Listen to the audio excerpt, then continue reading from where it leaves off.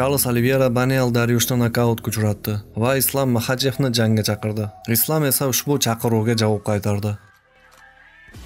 Olivera va islomning keyingi raqibi kim bo'lishi mumkin? Video davomida batafsil bilib olasiz. Demak boshladik. Sportdagi qiziqish va bilim evaziga uydan chiqmasdan har kuni yaxshigina daromad ishlab topishingiz mumkin. Bu ish bizning hamkorimiz Adinxbet kompaniyasi bilan esa yanada osonlashadi. Xullas ushbu videorolikning kommentariyasidagi ssilka orqali ro'yxatdan o'tasiz. Kompaniyada yangi mijoz bo'lganingiz va bizning kanalimiz orqali ro'yxatdan o'tganingiz uchun o'sha zahotiyoq sizga bonus tariqasida 1 million 300 ming so'm taqdim etiladi. Yengil vazn toifasida sobiq UFC chempioni Charles Oliveira Daniel Dariush bilan bo'lgan jangda g'alaba bilan karyerasini tikladi. Vankuverdagi UFC 289 turnirining ikkinchi muhim voqeasiga aylangan jang birinchi raundning 4-minut 10 soniyasi atrofida braziliyalik amerikalikka 10 kik zarbasidan so'ng yakunlandi. Zarba shu qadar kuchli bo'ldiki, himoyadan o'tib, Dariushni ozroq muvozanatdan chiqardi va jag qismiga berilgan ikki zarbadan keyin Dariush o'zini qutqarish uchun oyoqqa yopishdi. Va Olivera yuqoridan zarbalar berishni boshladi. Og'ir zarbalardan keyin Daniel Dariush to'liq nazoratni yo'qotdi va referi uning passiv himoyasini ko'rgan holda nokaut qayd etdi. Endi Charles Olivera chempionlik uchun yana da'vogarlardan biri ekanligini isbotladi. Dariush esa uzoq g'alabali seriyasini tugatdi.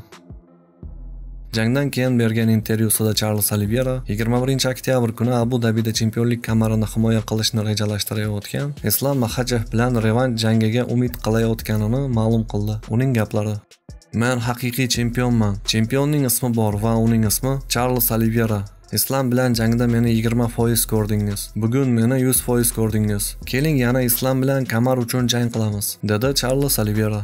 Qattiq mag'lubiyatga uchragan Baniel Daryush 8 jangdan iborat 5 yillik g'alabali seriyasini to'xtatdi va chempionlik uchun yagona imkoniyatini boy berdi. Daryush va Islom qarama-qarshiligini ko'rish ham bizga qiziq edi, ammo endi bu imkonsiz. Charles bu oqshom o'zining eng zo'rida edi. Har doimgidek ishonchli va yorqin g'alaba. Oliverani chempionlik jangi uchun qaytgani uchun tabriklaymiz. Islom Maxachev Charles Oliveraning g'alabasiga munosabat bildirdi. Tabriklayman Charles, ammo baribir bu o'yinda darajalar bor, deb yozdi rossiyalik ijtimoiy tarmoqda braziliyalikka qaratib.